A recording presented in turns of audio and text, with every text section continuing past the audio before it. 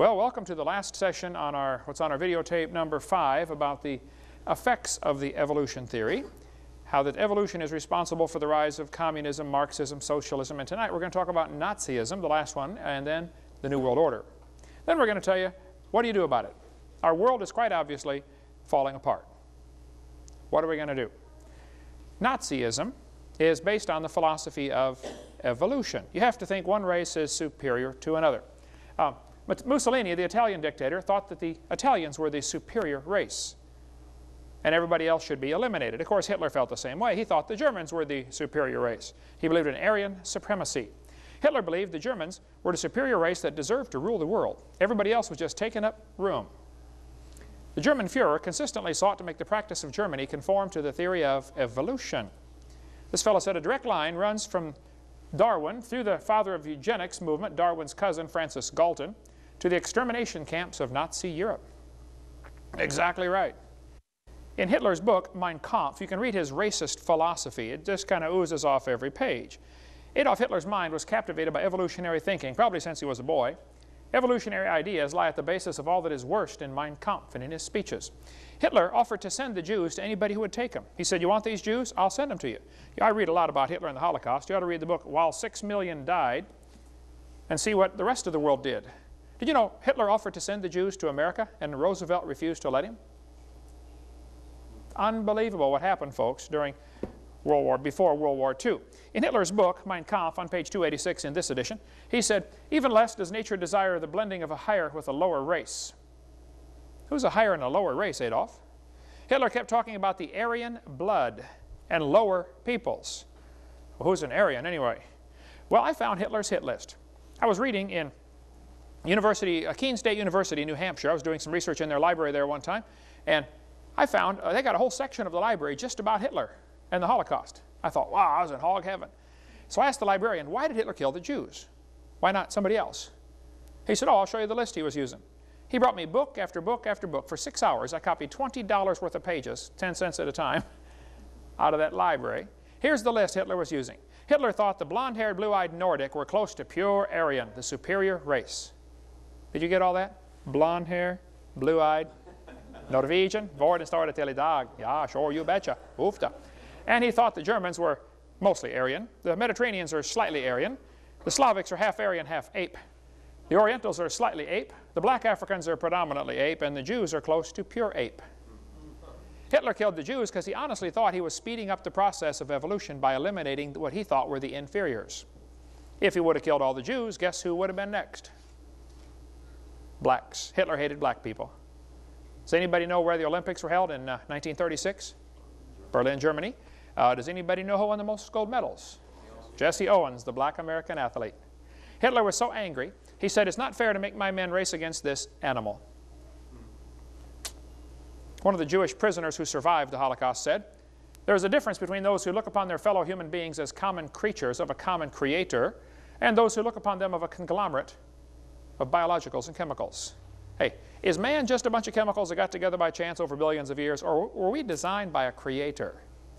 That is a fundamental difference, folks. So that's the difference between creation and evolution right there. By the way, the Jewish Talmud, not the Torah, which is the Old Testament, the Talmud teaches that anybody who's not Jewish should be killed. Says the Talmud says all non-Jews are to be exterminated. All Gentile children are animals. Even the best of the Gentiles should be killed. You'd be surprised how many religions in the world teach that they are the only one, not just the only one that's going to heaven, but the only one that deserves to live. You ought to read the, what the Muslims teach. You know, official Muslim doctrine is, according to Islam, you can read about the, the Prophet, a great little book here if you want to read about how the, the start of the Muslim church, or about who is this Allah anyway. These are books we offer in our ministry. You can get these through our bookstore downtown here. Or Islamic Invasion by Robert Morey. Oh man, tremendous book on exposing what the Islam people really believe. Or this one, just new out by Don Boys, excellent book on Islam, America's Trojan horse. Did you know the Torah, I mean not the Torah, the uh, Quran clearly teaches if a person will not convert, they should, they have to be executed. Here's the Quran uh, in Surah 489. Allah commands that any person who leaves Islam or encourages others to do so should be seized and slain. Allah told Muhammad that all, his, all those who opposed his message should be killed, or they should be nailed to a tree, or their hands and legs should be cut off. You cannot be a good Muslim without being a revolutionary. You have to hate everybody that isn't Muslim. I feel sorry for the folks that are duped by that silly idea. They need the gospel. We need to get, try to get it to them, okay? Maybe God's brought a bunch of them to America so we can win them to the Lord.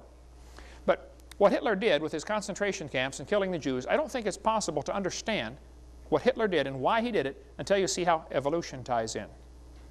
Hitler thought he was speeding up the process and doing the world a favor by getting rid of the inferior genes.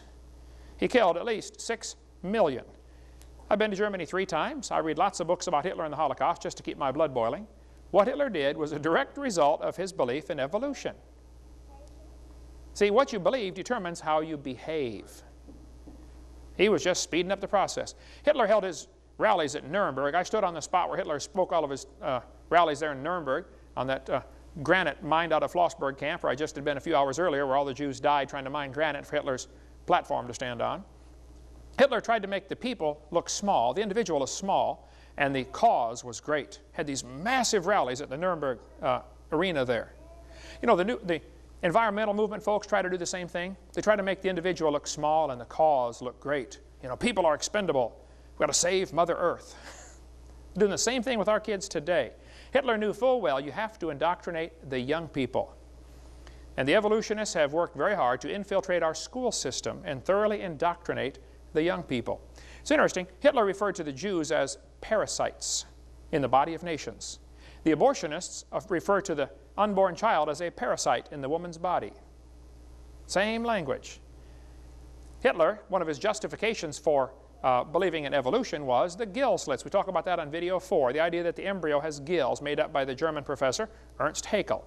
And that goes on. We can talk a lot more about that on our video number four about how uh, abortion is murder based on the thinking that evolution is true. It's a crazy idea. Hitler said, this new state, Germany, will give its youth to no one. We're going to raise the youth the way we want them to be raised. There was a man in Skokie, Illinois that shot and killed a doctor. When they asked him, why did you kill this doctor? He said, because he's making blue-tinted contact lenses for people and he's diluting the Aryan beauty.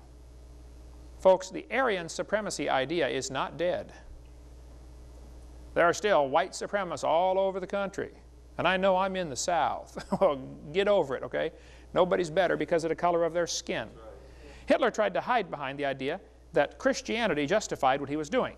This excellent book by Marvin Lutzer at uh, Moody Bible Press on Hitler's cross about how he tried to make people think it's okay because God had told him to kill all these people. Hitler, one of his propaganda pictures showed him walking out of a church with a cross over his head. He was a liar. Do you know they had Nazi baptisms? Hitler secretly, though, hated Christianity. He said, I regard Christianity as the most fatal, seductive lie that ever existed because Christianity teaches all nations are of one blood. You're not better than anybody because of the color of your skin. That's what Christianity teaches. But they had Nazi baptisms, Nazi altars. Just unreal what Hitler did, trying to hide behind the guise of Christianity. Now, the Japanese also thought that they were a superior race. The Japanese textbooks taught their kids for 30 or 40 years. When, when, when, Darwin's book came out in 1859, when it was translated to Japanese several years later, the Japanese bought it up like crazy and said, wow, this is a perfect theory. They sucked it right in because it goes right along with the religions they already had there in Japan. And they said, wow, one race is superior. I bet it's the Japanese. They had special studies where they studied people, and they said the Japanese don't have as much hair on their body, which proves they've ascended further from the apes. And they said they have a mildy, milder body odor, and they were the superior race that deserved to rule the world. People say, when, when I say I think evolution is largely responsible for World War II, they look at me like I'm nuts. But folks, that's exactly the case. Evolution is also the foundation philosophy for the New World Order. We cover lots on this on our college class, uh, CSE 103, where my 17-hour seminar is stretched out to 60 hours, where we chased every rabbit and kicked every dog that walked by. That's a whole lot of stuff on our college course there. The United Nations has plans for a one-world government. The United Nations wants to establish a UN military force that can intervene in inter internal events in any country. They want to eliminate the veto power of the United States. They want to give the UN jurisdiction over the Earth Commons. That means the United Nations decides who owns, you know, the rivers and everything, everything in Earth. This is from a speech given by the Secretary General in September of 2000. They've already divided up the world into 10 regions. You know, for years I was taught the European Roman, the old Roman Empire is going to be revived in the last days, and we're going to have the 10, you know, the, the vision in the book of Daniel. Ten kings are going to get together and give their power to one king. And then I think we've been maybe missing something here, brother.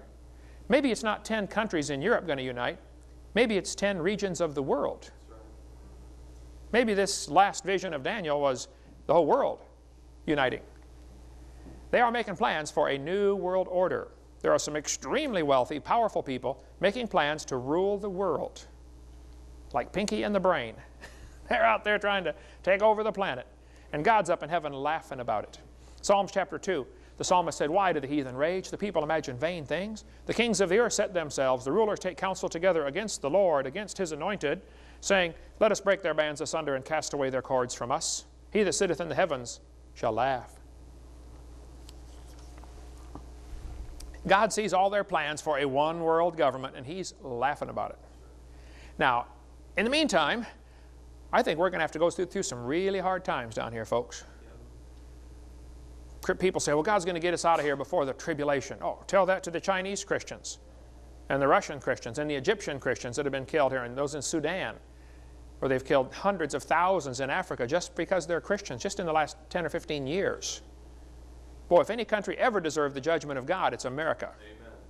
And I think it's coming soon to a city near you. The United Nations has plans to tax the world. They want to, we'll be paying a tax if they have their way, to the United Nations. They want to get the UN authority to regulate international commerce. They want to control food. They understand full well that the production and distribution of food is the way to control the world. United Nations has plans to establish a new seat of power in the UN called the People's Assembly.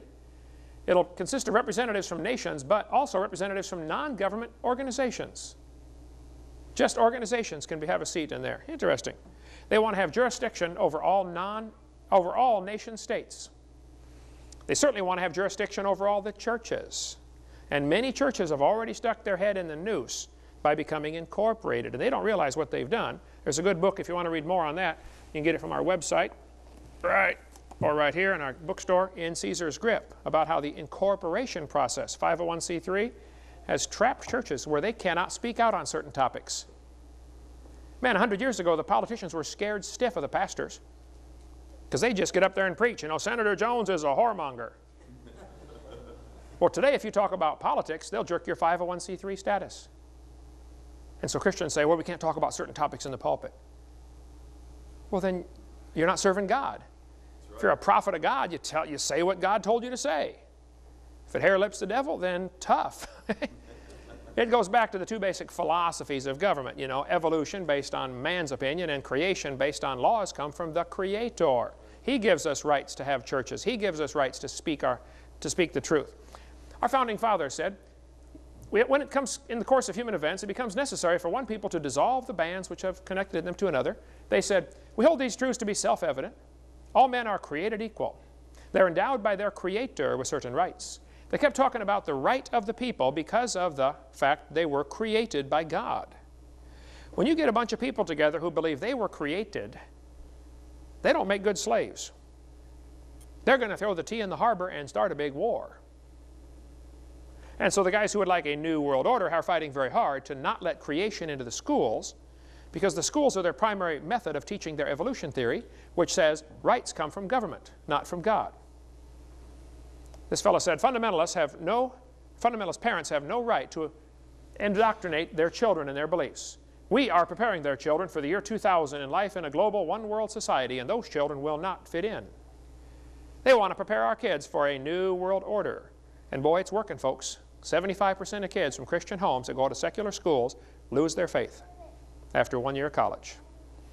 There's a great book called The Medusa File by Craig Roberts, excellent book on the government cover-ups of all sorts of things that have been covered up. Did you know how many prisoners of war were left behind when we fought World War II, and when we fought in the Japanese theater, and when we fought Vietnam? Those prisoners of war were taken off to be um, coal miners up in the Soviet Union and in China. They just disappeared into slave labor camps. And some leaders in our government knew about it and said, oh, it's not worth messing with, just let them go. There's some still alive over there. Read this book, The Medusa File, if you want to get more on that. If you want to understand the conspiracy that's right now Satan is using to control the world, there are so many good books you can read about this. I've got several on the table here. There are different groups with their smoke-filled rooms trying to control the world. There's a meeting There's a committee of uh, 300 Jewish financiers, all masters of lodges, who rule the world according to Protocols of Zion. Now, I get crit criticized for recommending the Protocols of Zion. I understand the book was written so that it would, if it was found, it would be blamed on the Jews. It's actually the bankers. But they kept calling it, they wrote it as if the Jews are going to do this and the Jews are going to do that. I tell you what, you read it, it's all come, it's all come true in the last hundred years. And people say, that's a bad book, Brother Hovind. Well, yeah, it is, but it, it reveals their plan for the world, but it was not written by Jews. It was written by financiers, moneylenders, with, and shows their plan to rule the world. There's a book called The Committee of 300, showing the 300 top people who really make the decisions on this planet to decide when we're going to have a war and when we're going to have a depression and a recession. Get more on that. See, a lot of these crises that we face are man-made, intentionally made. I don't know if you saw the video of the airplane flying into the Twin Towers, but there's a video on the internet you can watch showing an F-15 flying right beside it, guiding them into the Twin Towers. You got to, they slow the tape down and show it frame by frame. Interesting. I'm not sure what all happened that day, folks. I'm not sure if anybody's sure what all happened that day. But they will develop a crisis just so they can get their goals accomplished. Some of these guys would like a new world order, a one world government, and they're not against killing three or 4,000 people if it helps their cause like blow up the Oklahoma City building just so we can, you know, eliminate the militia groups that are getting a little out of hand, you know, or just so we can get more homeland security measures. I can't even carry my pocket knife on the plane now. well, the Civil War was deliberately done in order to get more toward a one world government. So was World War I. The 1929 Depression was deliberately caused to get people to come in and get a Social Security number, which, by the way, is a voluntary system. The Cuban Missile Crisis was deliberate. See, the, the Russians, they have a technique. They say we'll take two steps forward and one step back, and everybody thinks we retreated. They wanted a missile base, they wanted a military base in Cuba. So they put in a military base and missiles. Kennedy huffed and puffed about the missiles, you know, the big missile crisis in 62, and they took the missiles out, we think, and left the military base. Two steps forward, one step back, they're further toward the goal. They've done that all over the world. Oklahoma City was blown up by apparently some terrorists, obviously, but it wasn't the truck bomb in the street that blew that building up, folks. There's a whole lot more to it than that. You want to get a hold of Ben Partin, the Air Force uh, general in charge of explosives. He said, I know what blows buildings up. I've been doing this for 30 years. He said a truck bomb did not blow up that building. There were bombs in the basement around the pillars, sheared the pillars off. Talk to Ben Partin. There's his phone number right there if you don't believe me. Got a great videotape about that. In order to get anti-terrorism legislation passed that had been stalled in Congress, that's why I think those buildings came down. The TWA bombing was done deliberately to get rid of some people who were going to go testify against Bill Clinton, apparently. There's been so many conspiracies, and I read all this stuff and listen to all these things and see, read lots of books on it. But folks, it doesn't matter in a bigger sense. I think we as Christians need to be wise as serpents and harmless as doves. I'm going to share with you tonight what I think the solution is. What, what should we be doing in light of the fact that there's a new world order coming down upon us and Christians are not going to be welcome. This fellow said, we're on the verge of a global transformation. All we need is the right major crisis and the nations will accept the new world order. I'll tell you what, when they're bombing your cities, people will give up their rights in order for safety. I think it was Ben Franklin said, those who will give up their rights for peace and security will have neither peace nor security. Bible says, This know also in the last days perilous times shall come. Folks, there are bad times coming. I'm not going to get up here and say, everything's going to be fine. I feel like something good's about to happen to you. I feel like something bad's about to happen to everything. Okay? Get ready. I got two grandkids, more coming. I'm just, I'm not excited about bad times coming, but folks, it's coming. Right. What they do, they think of some excuse, or create a crisis so the president can declare martial law which of course sets aside the Constitution. Presidents are now actually ruling by executive order. There have been 13,000 of these given. Abraham Lincoln gave the first one ever in America, ordering 75,000 troops to invade the South. As it was Lincoln's War, not the Civil War. Another long story on that one. We covered that on seminar on a uh, college class, CSE 103. What they'll do, these rich folks will get in their mind what they want to accomplish, how to get more control over the world, and then they, they develop a crisis to get people to do what they want. They are laying plans for a one world government. And now the presidents, ruling by executive orders, have totally bypassed the Constitution. We could talk for hours on the executive orders. I've got a list of quite a few of them here.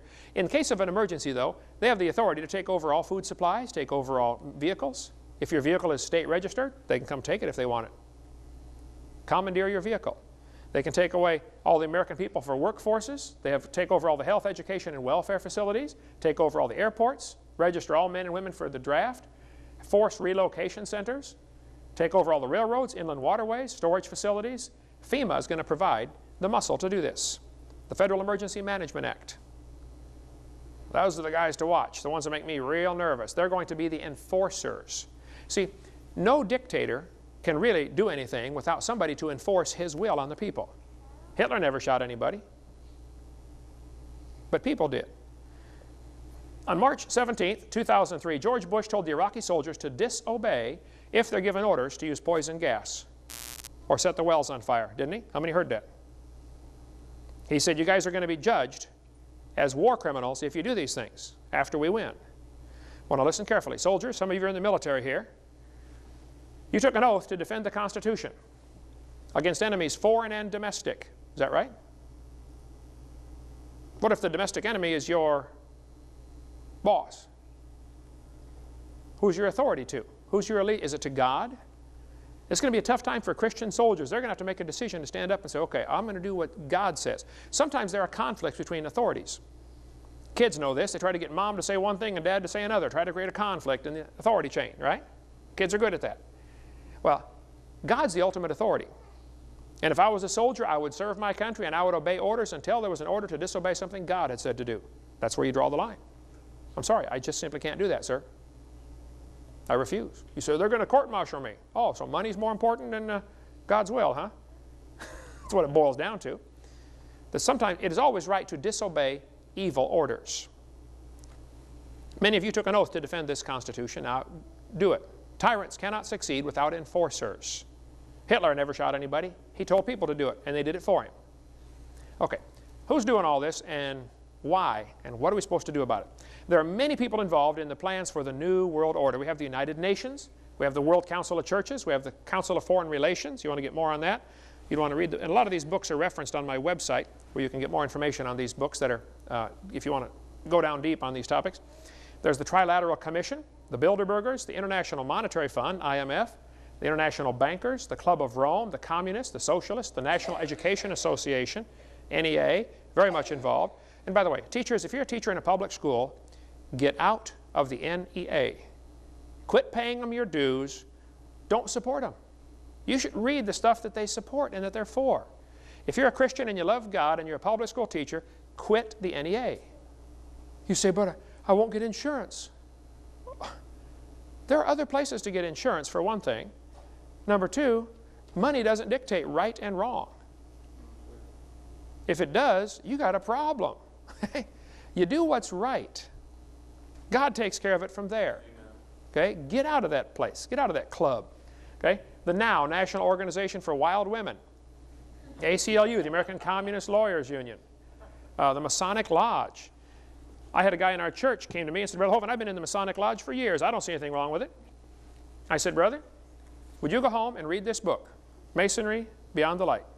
Just read this book. Bring it back and we'll talk. He brought it back two weeks later and said, Well, I quit the lodge and I've got four of my other brothers to quit the lodge also, brother. Thank you so much for giving me that book. Most of the guys that I know in the Masonic Lodge, including some very close friends of mine, don't really have a clue what they're in. They don't realize till they get to the top it's a satanic organization. I'll show you. Here's the oath.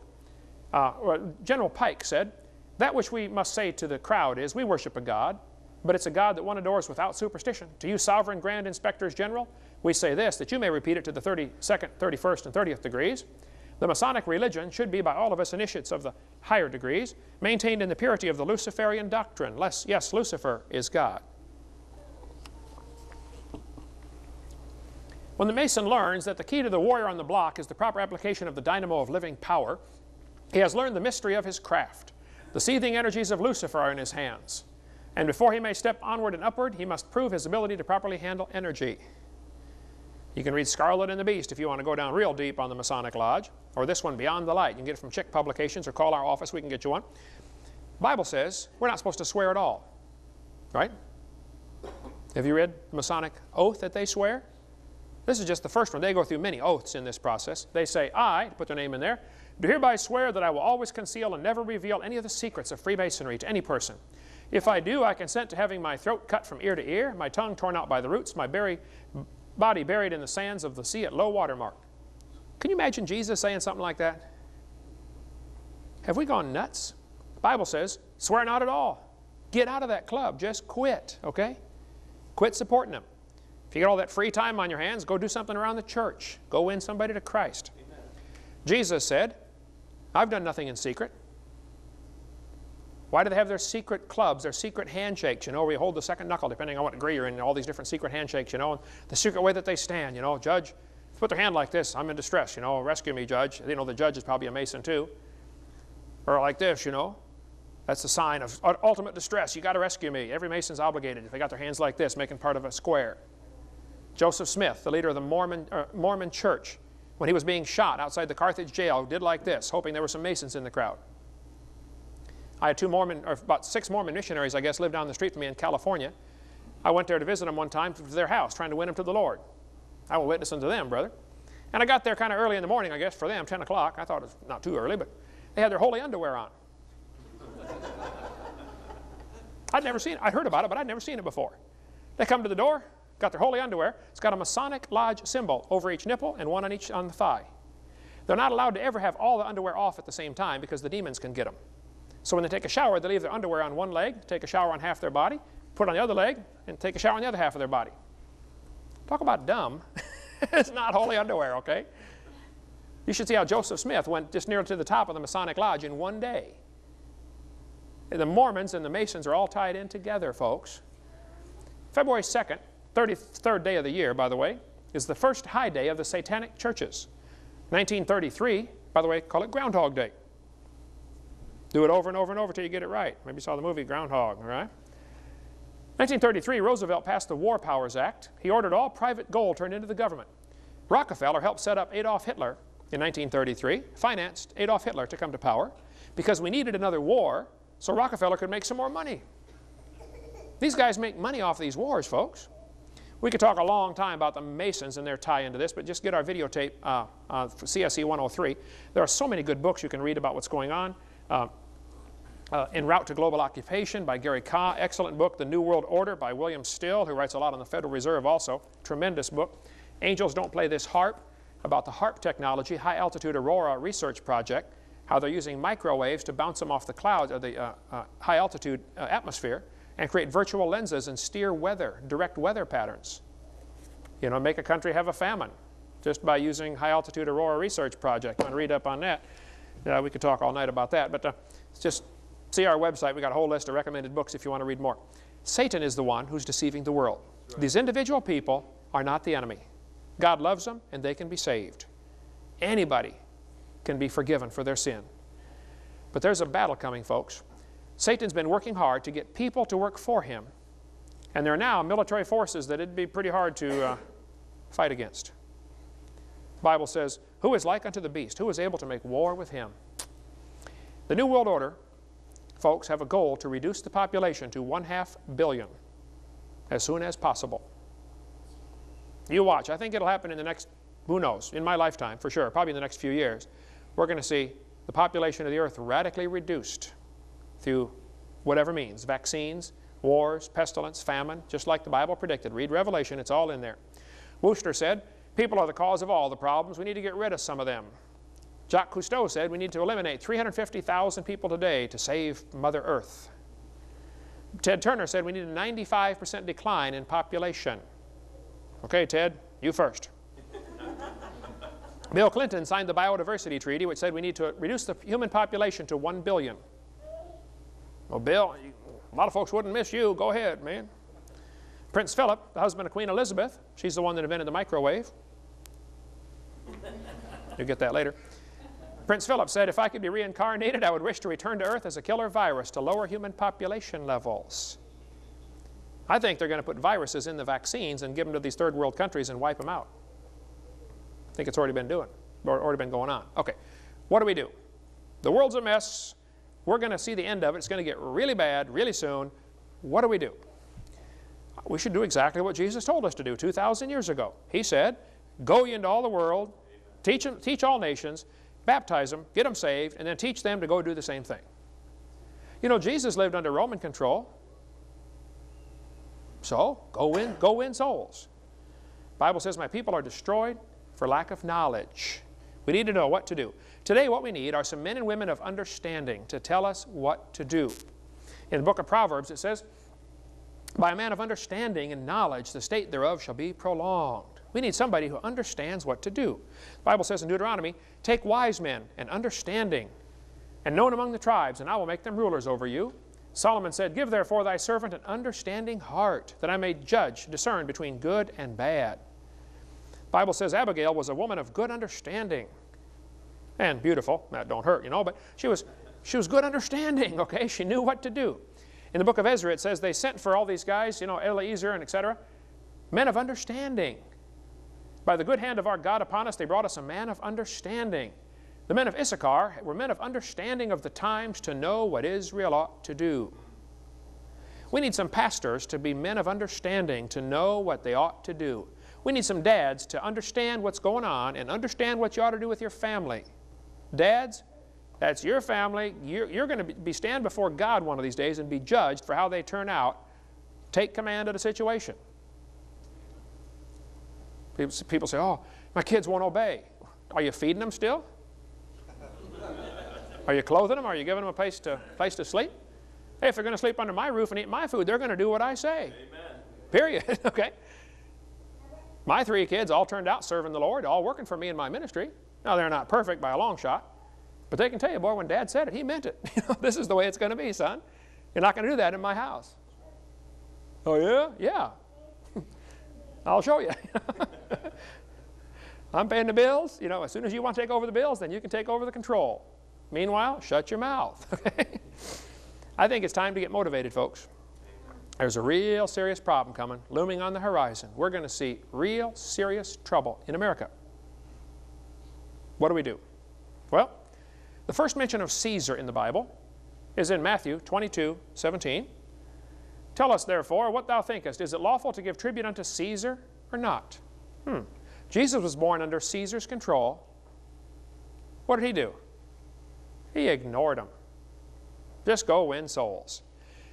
So 12 things we need to do. Number one, you need to realize God's in control. He's the potter, we are the clay. Shut up, sit still, let Him do something with you. Amen. Okay? Be still and know that He is God.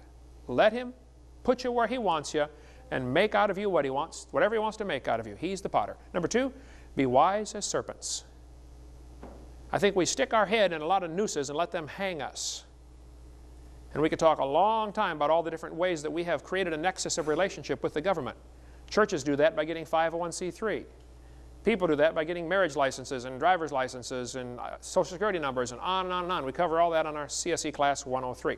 Number three, be careful for nothing. Careful means full of care. I see people that are worried and nervous. Wow, what's going to happen? The New World Order is coming. They're going to come kill everybody. Well, go, go win some souls. Number four, pray for those in authority. We're His children, obey His orders, preach the gospel. Be the salt of the earth. Salt irritates. Some of these Christians are so worried about offending somebody. Who cares? I want to please God. Nothing else is going to matter, folks. Use your influence. Everybody has influence. Some of you ought to get on the school board. I hear people say, well, Christians shouldn't get involved in politics.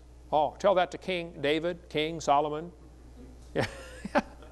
Daniel, he was involved in politics. I mean, read your Bible. Of course we ought to get involved, right? We need to teach the truth about creation. You know, in Acts chapter 17, there are only two great sermons in the book of Acts. Acts 2, Peter preached on Pentecost, spoke in one language. They heard him in 17 languages, an amazing miracle. And he spoke, uh, and he quoted verse after verse after verse. The Jews were familiar with Bible verses. But in Acts 17, Paul preached on Mars Hill to the heathen. He didn't quote one Bible verse. Imagine preaching a whole sermon without one Bible verse. He just said, God that made the world. He talked about creation. And folks, if we're going to reach America, it's going to have to be using the creation message to reach them. The textbooks are teaching the evolution story. Textbooks in Escambia County, right here, are teaching the kids the evolution story. They learned it today. They're going to learn it again tomorrow.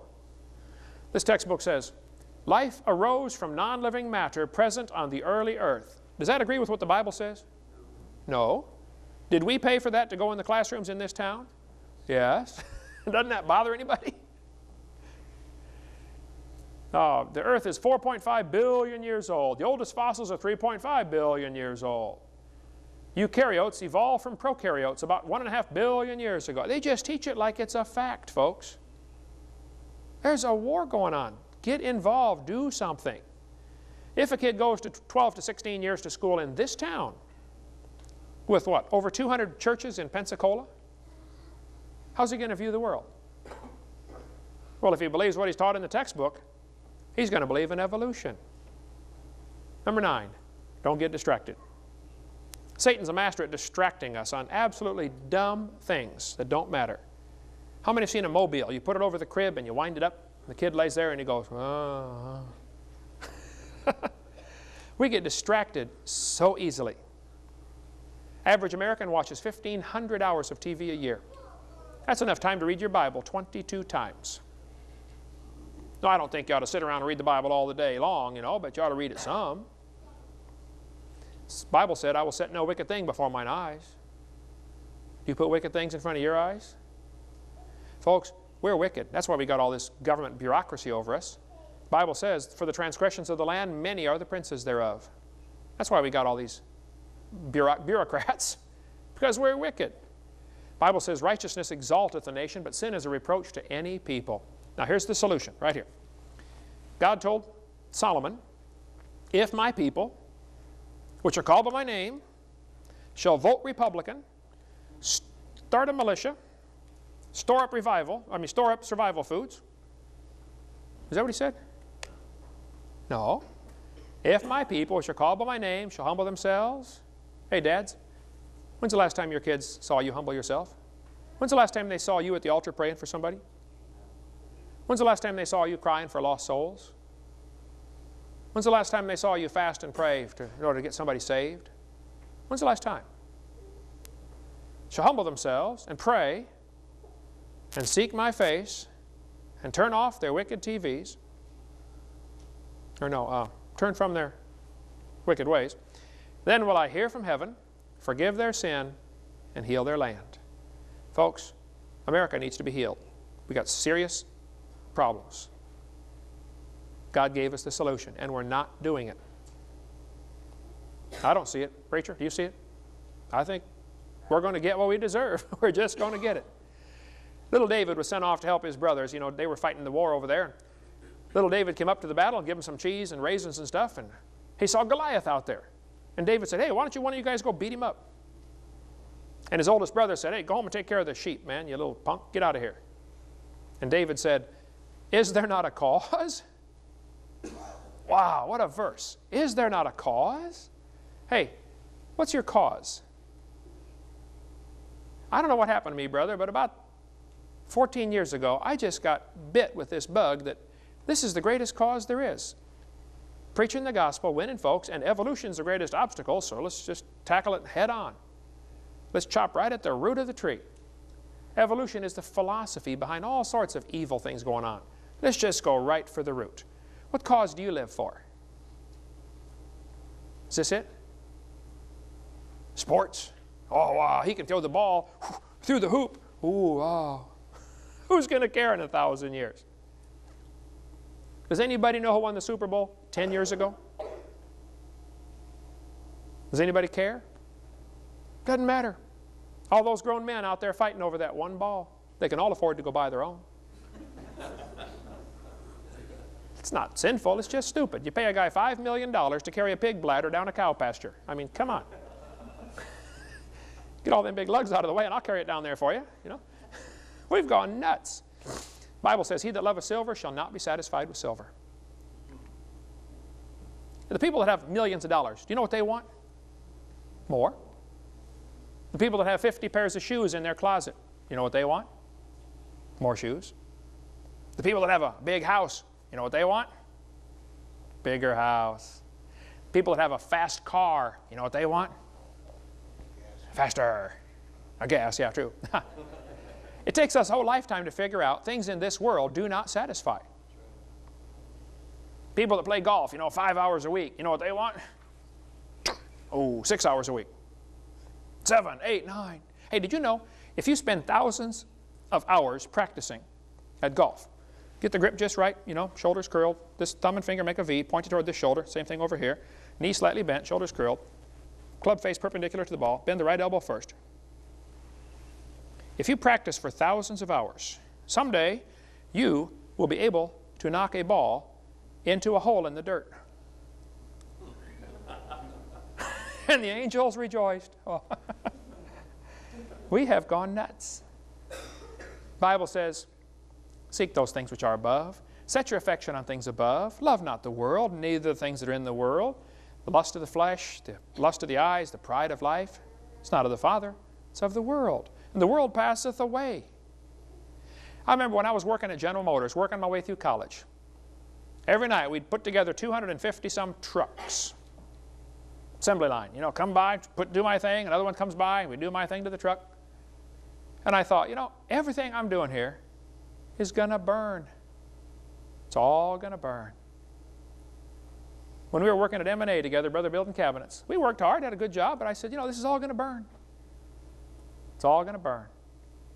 I want to invest my life in something that's going to last forever get our videotape on how to make money and spend it God's way. See the way you really ought to spend your money. Number 10, listen for the trumpet. Bible says, The Lord himself shall descend from heaven with a shout, the voice of God, the, trump of the, the voice of the archangel, the trump of God, and the dead in Christ shall rise first. Southern Baptists, go first, but hey, we're going next, okay? And then, I pick on the Southern Baptists a lot. I, I, used, I speak in a lot of their churches too, and I'm Baptist myself. Uh, we're going to be caught up together with them in the clouds to meet the Lord in the air. Listen for the trumpet, folks. It's coming soon. Number 11, win souls. The last mention of Caesar is right here. All the saints salute you, chiefly they that are of Caesar's household. You say, oh, they're going to send troops in and occupy America. Oh, good. Go witness to them. Amen. They sent troops in to occupy Israel, didn't they? What did the disciples do? Led them to Christ. I don't think the disciples sat around worrying about, oh, did you know the Romans are going to send another thousand troops to Bethlehem? Oh, really? Hey, get some more tracks, guys. Let's go. That's got to be the attitude we take. He that winneth souls is wise. During the Civil War, this big old country boy from Alabama signed up to go fight the war. Man, he's sick of them Yankees down here invading our territory, you know, so he got him a rifle, got him a backpack, and went off and joined the army. He showed up for battle said, reporting for duty, sir. Sergeant said, son, we're glad you're here. Man, we need recruits bad. He said, son, your job is to guard this trench right here. Soldier said, Sarge, I didn't come to guard no trench. I come to fight Yanks, and they're right over there. Can I go fight them? He said, no, son, you don't understand. We're dug in, they're dug in, and we're waiting for orders.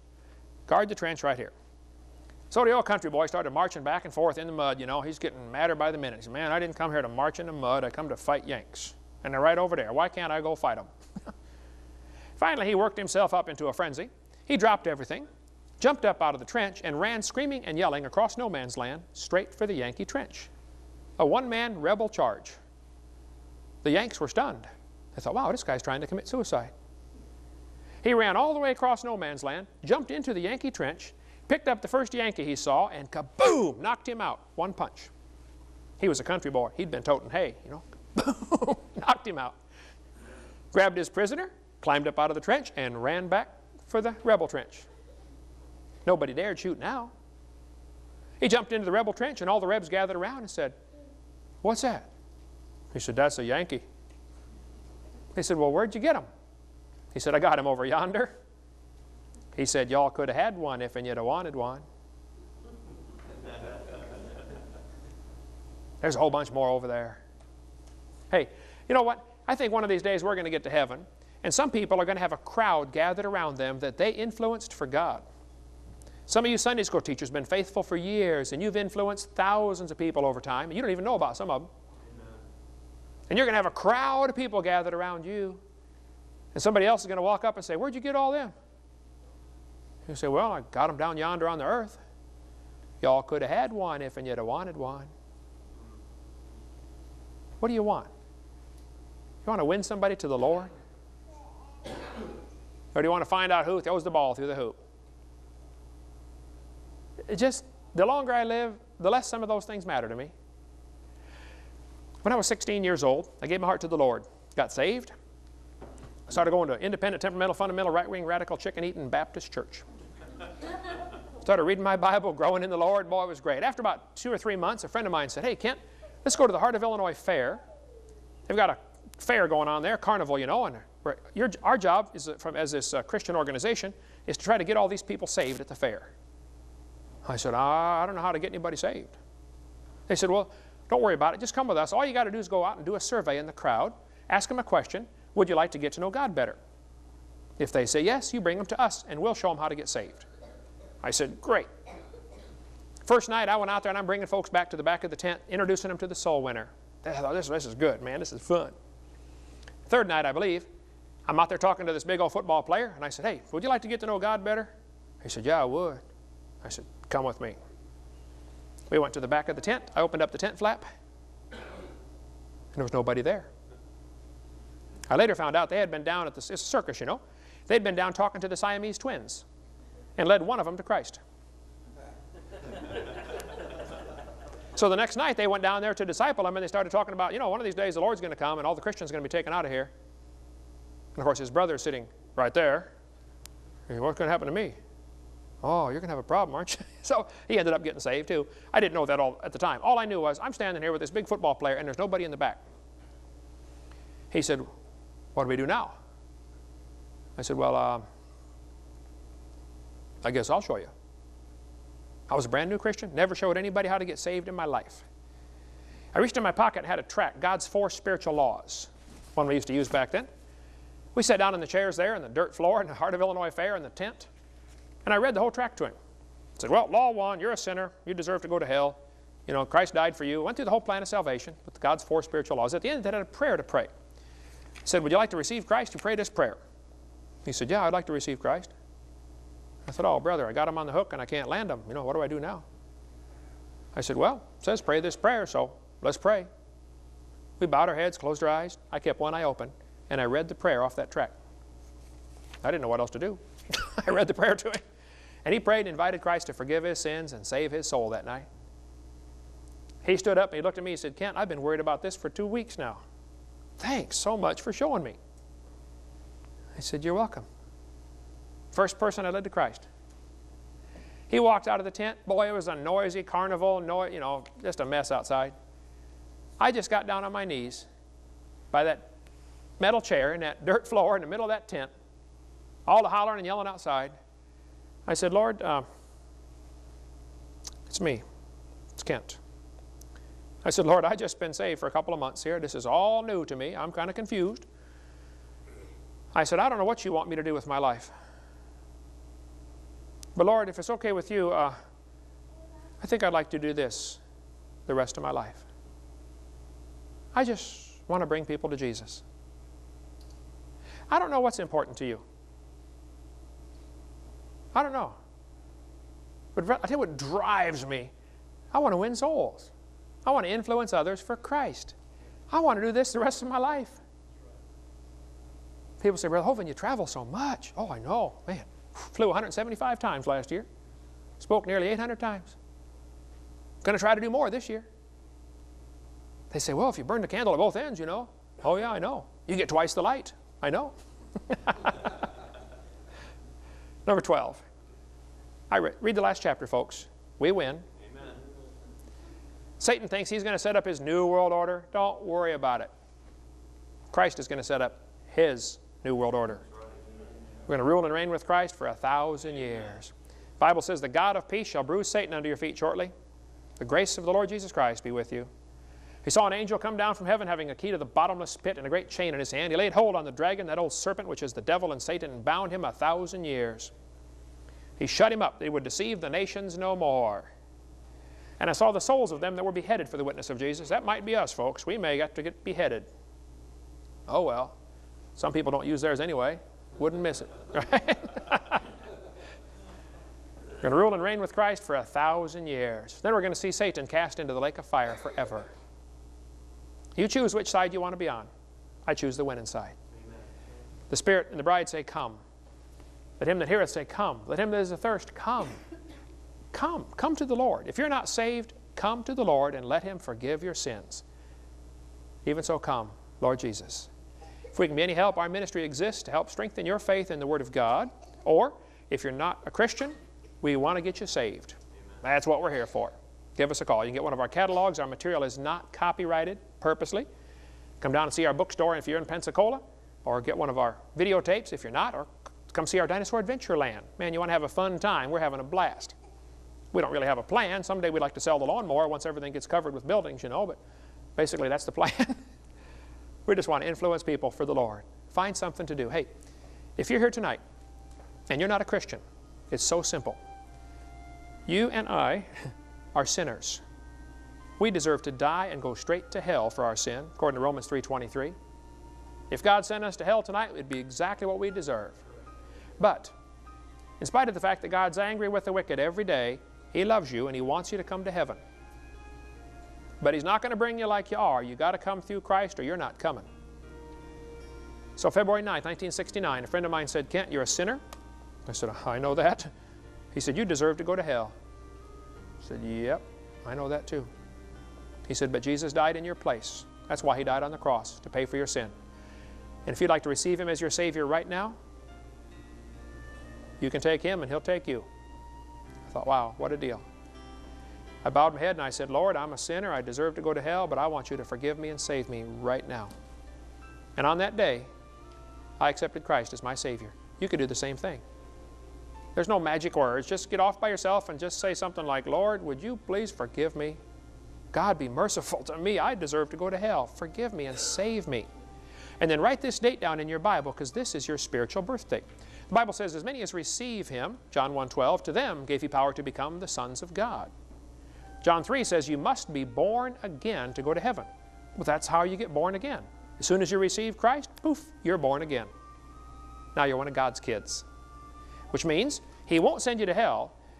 He might take you to heaven early if you don't straighten up, you know, but he won't, he won't send you to hell.